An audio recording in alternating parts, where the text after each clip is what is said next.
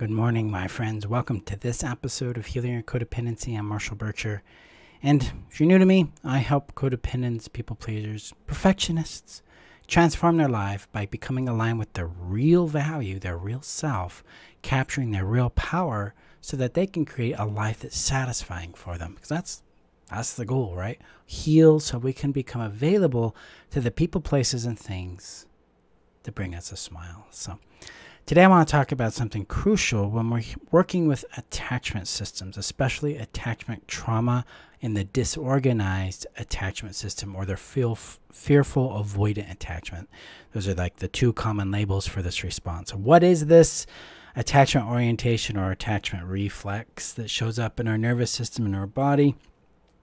Well, disorganized or complex or fearful avoidant response is one that feels torn between two spots.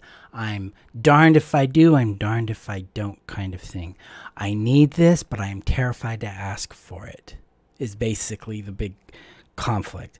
I I I need to get what I need, but I have to give up what I need to get it, and it it doesn't make a lot of sense logically when we when we really get into it, but emotionally it just means we're torn between um, two very painful options. We're either going to receive it with a consequence or we're going to be harmed by not getting it.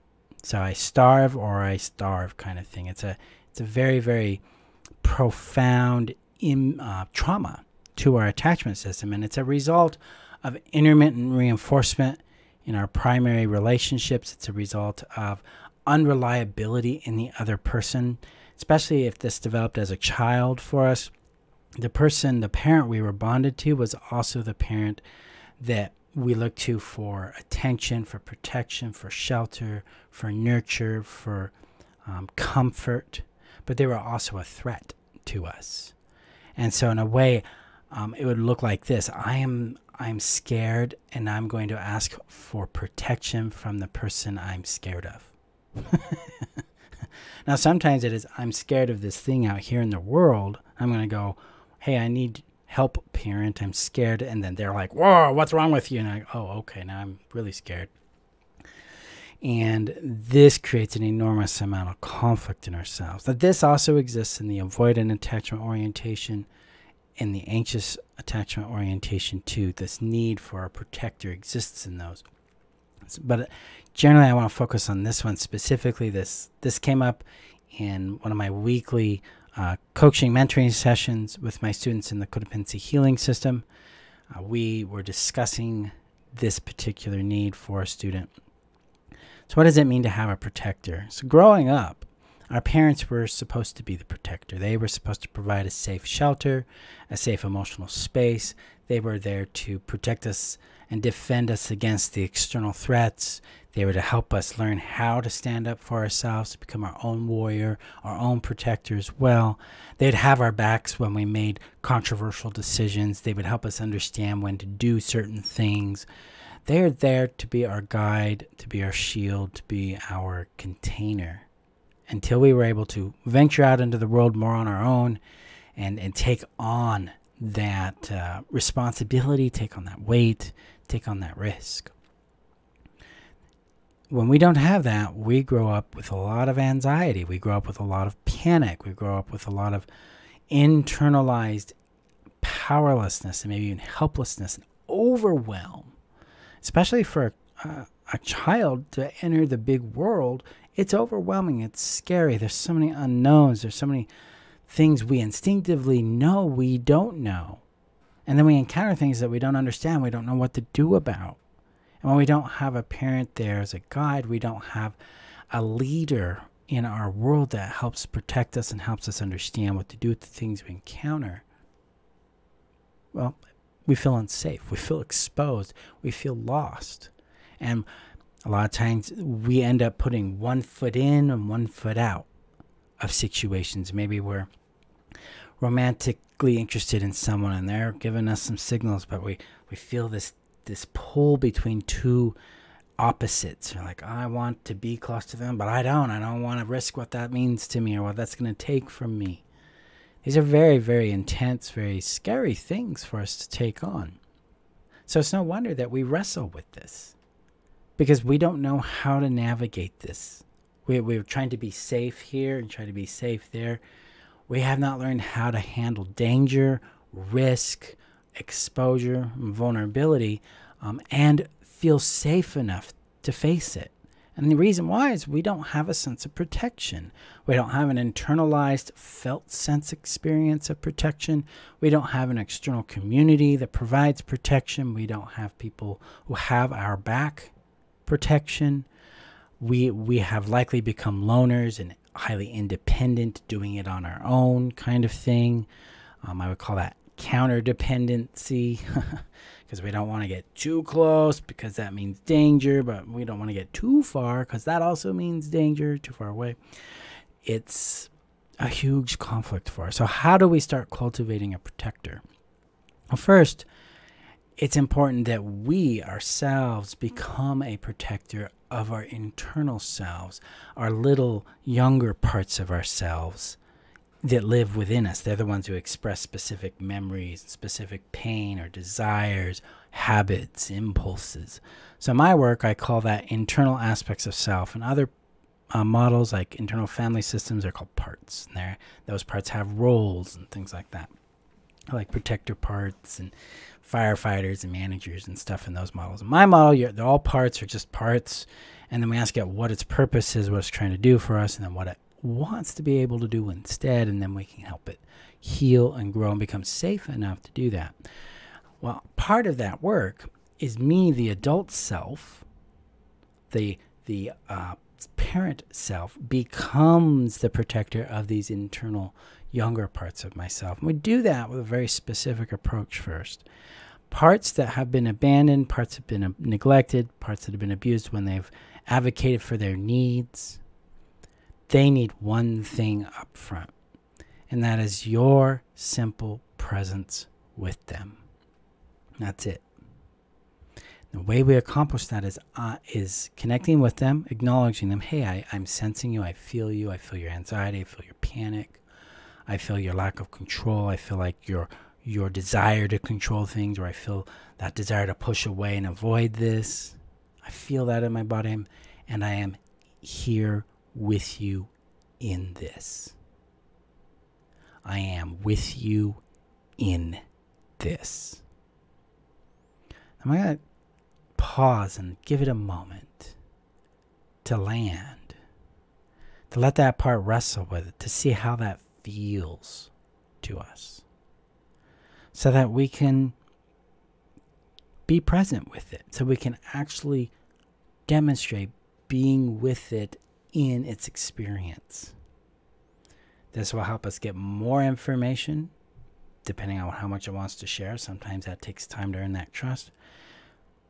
But it empowers us to become more and more present and connected and knowledgeable about this aspect of ourselves that we're working with. That's all we need to do. Because that brings in a sense of protection, it brings in a sense of presence. That, oh, I'm not alone in this anymore. There's someone else here with me.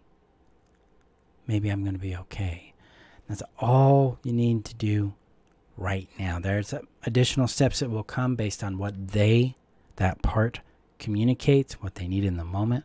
But that first step is becoming present with them and hey, I am with you in this. I believe you. I will not leave you. That's it. That's all that has to be done. And that's all you do in response to them when they show up is that entrance into just being present with this part of yourself that's wrestling with that thing. That's feeling those big feelings. That is fearing that big, scary outcome. That is really desiring that really big outcome, whatever it is, or with it there. This brings companionship to this part, and that adds protection now, it may not trust you. It may not reject, it may reject you. It may push you away. It might feel really, really intense and uncomfortable. Allow that to be there too. And the way you respond to those things is, I am with you in this too. And of course, you're going to re- you're rejecting me. Of course, you're pushing away. Of course, you don't trust it. That's okay. You don't need to. You're going to do that because that's what feels most safe to you right now. And I got to earn your trust a bit, huh? I got to show up in a way that that that validates the words I'm saying. The more we are consistent in how we show up to our emotions, how we respond to our emotions, the more trust we build with ourselves, the deeper that safety goes.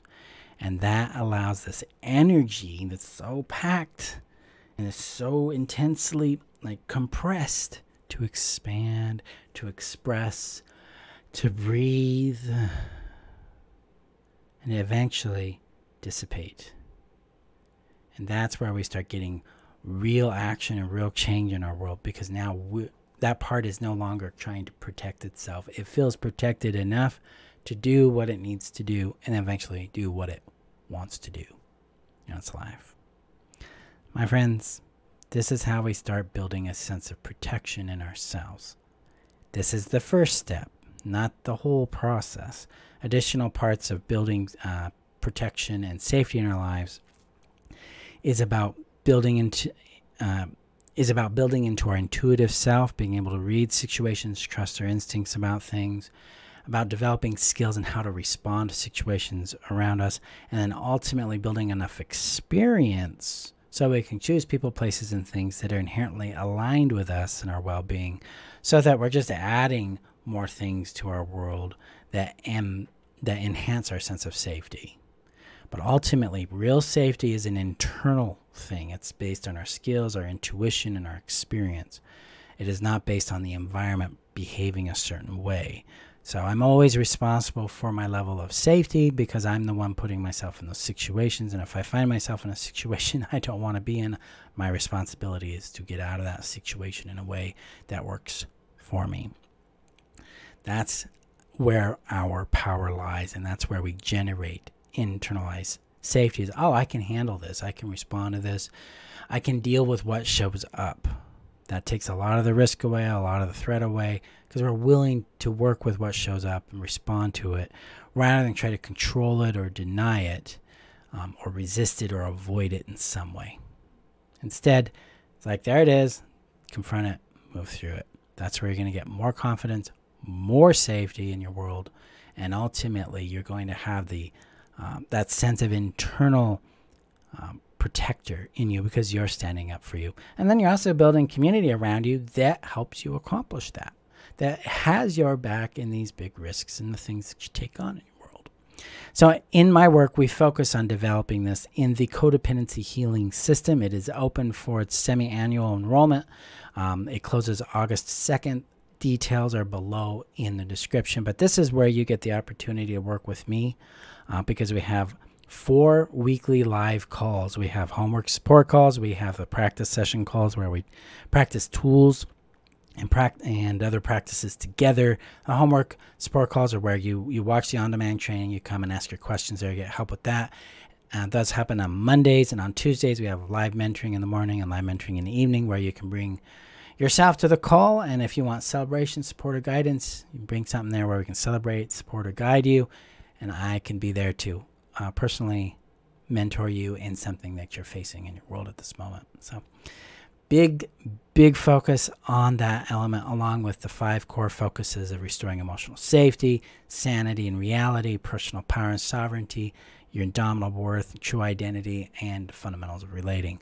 So, the codependency healing system is a deep dive in our healing work. It takes us out of that survival phase that the foundation course focuses on moves us through the healing phase, which is all about that codependency healing system, which preps us for the creation phase where we go into the transformation system and start creating things that we really want.